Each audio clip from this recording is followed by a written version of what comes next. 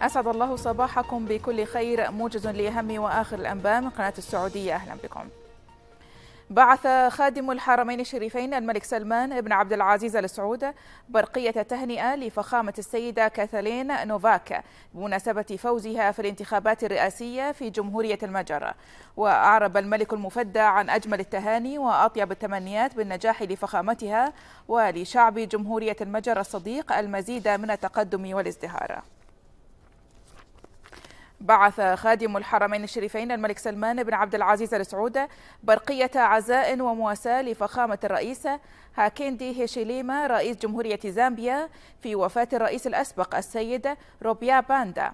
وقال الملك المفدى تلقينا نبأ وفاة الرئيس الأسبق لجمهورية زامبيا السيد روبيا باندا ونعرب لفخامتكم ولأسرة الفقيد ولشعبكم الصديق عن أحر التعازي وأصدق المواساة.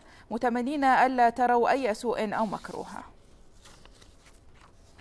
بعث صاحب سمو الملكية الأمير محمد بن سلمان بن عبد العزيز ال سعود ولي العهد نائب رئيس مجلس الوزراء وزير الدفاع برقية تهنئة لفخامة السيدة كاتالين نوفاك بمناسبة فوزها في الانتخابات الرئاسية في جمهورية المجر وعبر سمو ولي العهد عن أصدق التهاني وأطيب التمنيات بالصحة والسعادة لفخامتها ولشعب جمهورية المجر الصديق المزيد من التقدم والرقي.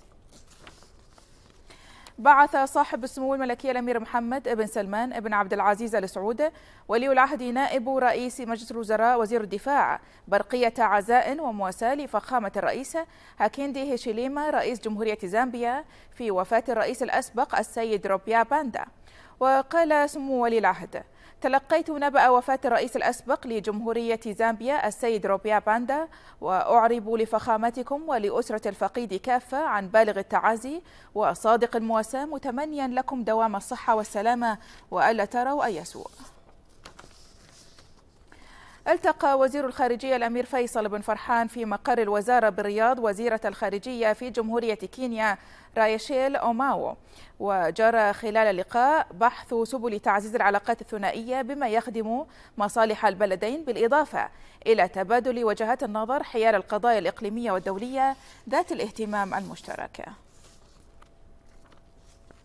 في غضون ذلك عقدت اللجنة السعودية الكينية اجتماعها الأول في ديوان وزارة الخارجية بالرياض وترأس الاجتماع من الجانب السعودي سمو وزير الخارجية فيما ترأسه من الجانب الكيني وزيرة خارجية جمهورية كينيا. ووقع الجانبان مذكرة تفاهم بشأن المشاورات السياسية بين البلدين بالإضافة إلى توقيع محضر الاجتماع المشترك. عقدت لجنة برنامج تنمية القدرات البشرية أحد برامج تحقيق رؤية المملكة 2030 مؤتمرا صحفيا. تم خلاله الإعلان عن تفاصيل استراتيجية برنامج خادم الحرمين الشريفين للابتعاث التي أطلقها مؤخرا سمو ولي العهد. وتناول المؤتمر الذي شهد مشاركة عدد من الوزراء التعريف بالاستراتيجية مستهدفاتها وتوضيح المسارات الجديدة للابتعاث وذلك وفق احتياجات سوق العمل المتجددة والمتسارعة. وأولويات رؤية المملكة 2030